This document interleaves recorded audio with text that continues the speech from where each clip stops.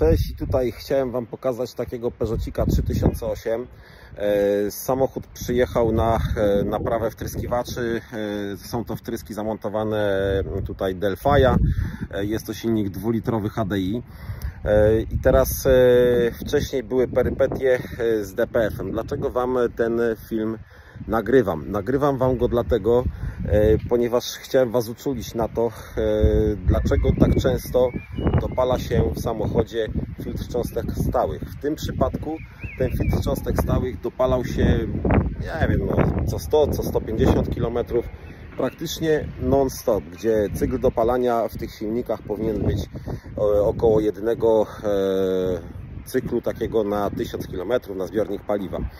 E, Pan sobie w tym samochodzie rozwiercił filtr cząstek stałych, co pogorszyło jeszcze sytuację, bo samochód już zwariował. Czynnik różnicy ciśnień e, na tyle pokazywał złe parametry, że dopalanie pojawiło się jeszcze częściej.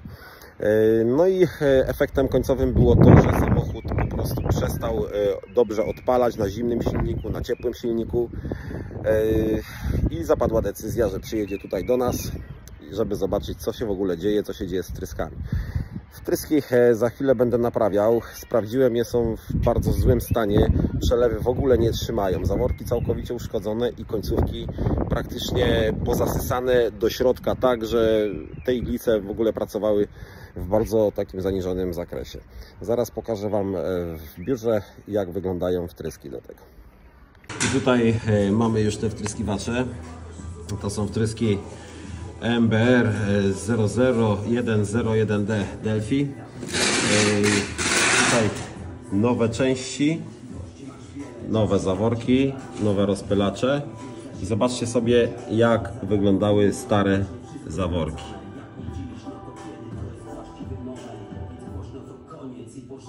To jest wszystko pozacierane, poprzegrzewane.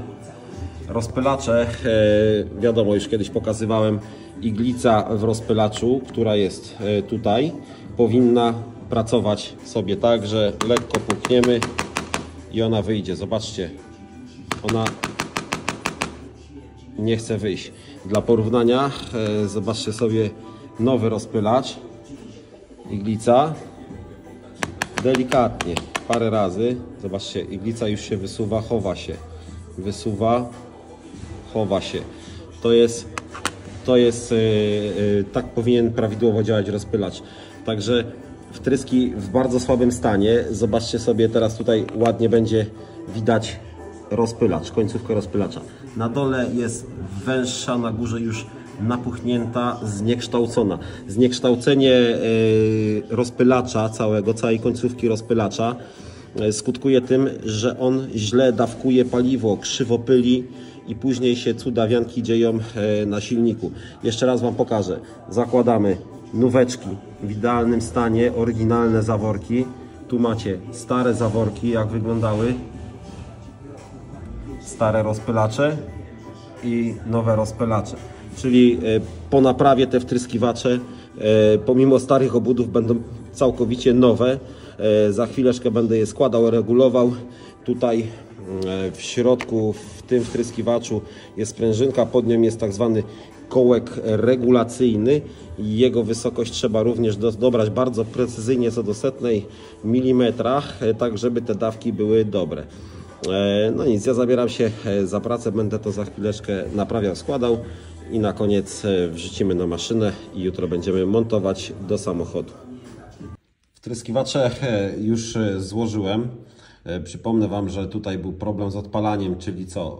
Paliwo w większości szło na powrót i oprócz tego jeszcze lały rozpylacze.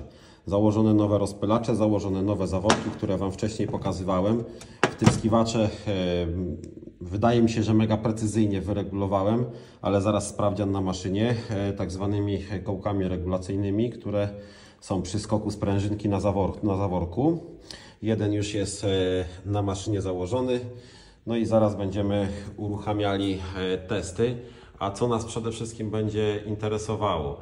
Tak zwany leak test, który jest na samej górze i będzie nas bardzo interesowała dawka powrotna, czyli VLR. Też Tutaj będziemy to sprawdzali. Wtryski muszą wyjść ładnie, nawet nie dopuszczam innego wyjścia z tej sytuacji. Założymy do auta i samochód musi chodzić pięknie. Także zabieramy się za testowanie, sprawdzanie tych wtryskiwaczy. I już tutaj zaczynamy testy, czyli pierwsza pozycja air clean, oczyszczanie z powietrza, odpowietrzanie wtryskiwacza. sobie tutaj pracuje. Na powrocie jak widać e, idą sobie bąbelki, zaczyna iść czyste paliwo, także wtryskiwacz się odpowietrza. I zaraz e, sprawdzamy, teraz już przeszło na leak test, czyli test szczelności wtrysku.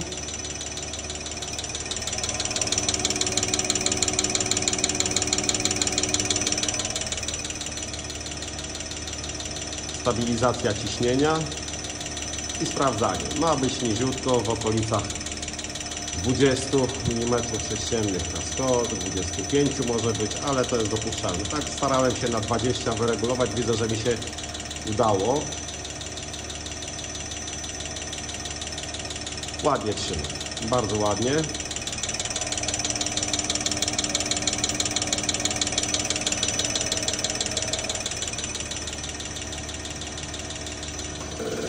Tryskiwacz EMBR 00101D 2.0 TDCI 2.0 HDI bardzo wrażliwe tryski na jakość paliwa bardzo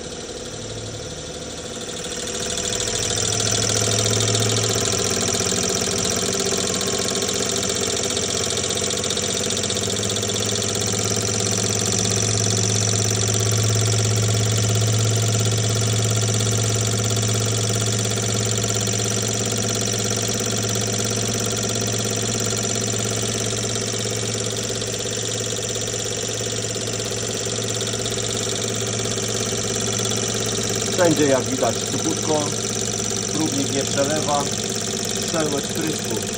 Przy nakrętce idealna, nic się nie rosi, góra prysku tak samo wszystko w porządku. I za chwileczkę będziemy patrzyli sobie najważniejsze dla nas w tej chwili, czyli dawkę powrotną, bo jeżeli tu dawkę powrotną będziemy mieli opanowaną, to przy nowej końcówce rozpylacza e, zasilanie prysku również będzie chodziło poprawnie.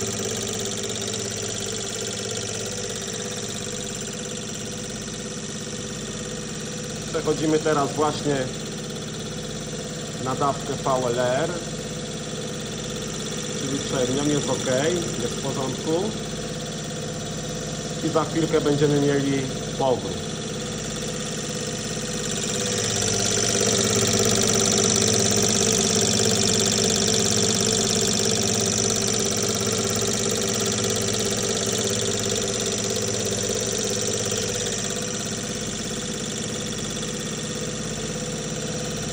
No i teraz powrót, to jest dla nas bardzo istotne. Bardzo ważne na wtryskach Delphi są powroty. Chociaż często zdarza się tak, że one są dobre, czyli zawór ładnie trzyma, a rozpylacz już nam psuje repertuar. Zobaczcie, ładnie powrót, super. Po prostu tak chciałem, tak jest. Mamy mieć 28 mm według plan testu. Mamy wyliczone 26, troszeczkę niżej. I o to chodzi. On ma nie być wyżej. Ma być niżej, ma sobie schodzić. Jest naprawdę fajnie, jest idealnie. Także wtryski udało się naprawdę precyzyjnie, ładnie poskładać.